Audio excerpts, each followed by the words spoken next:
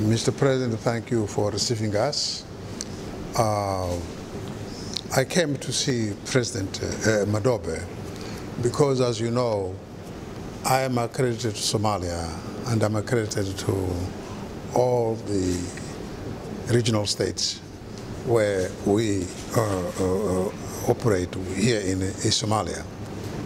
I came to tell President uh, Madobe that uh, last February, 9th February, uh, the Peace and Security Council has adopted um, the AMISOM CONOPS for the year 2018-2021.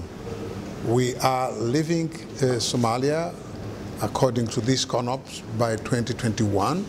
Uh, we are supposed to draw down and hand over the security responsibilities to the Somali people.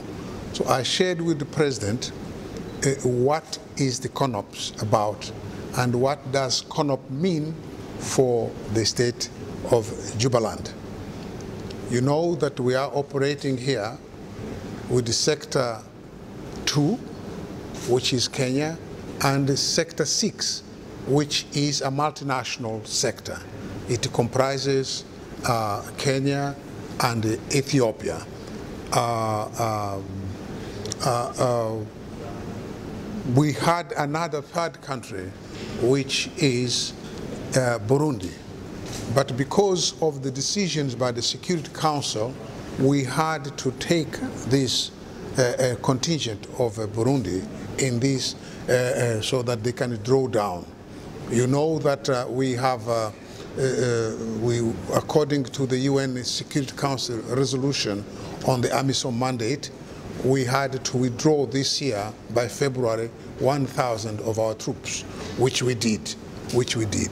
So it is very important that uh, the uh, uh, uh community and the people know that we are here, we are here to support and help empower the Somalis to take over the security responsibility of their country.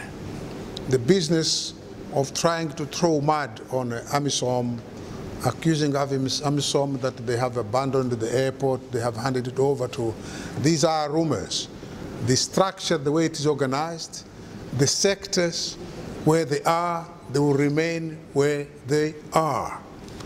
Whoever says other things is a lie. Don't take it seriously because some of them are experts in lies. But I also told President uh, Madobe that uh, it is uh, uh, the wish and the interest and profound wish of the chairperson of the African Union Commission to see the upcoming elections in Jubaland free, fair, transparent, and most importantly also peaceful. And I offered President Madobe the availability of AMISOM to support uh, uh, uh, him in his effort. But I also told him that our mission is to empower the Somalis in all aspects. It's not to interfere. And we are not going to interfere. We are not going to interfere in the election. Those who are thinking that uh, AMISOM is going to interfere, that's not in our mandate. But we clearly want a free, fair, and transparent election. So I was assured of these things, and I am going home happy, and I'll convey these to my chairperson. I thank you very much. I want to thank President Madobe for his hospitality.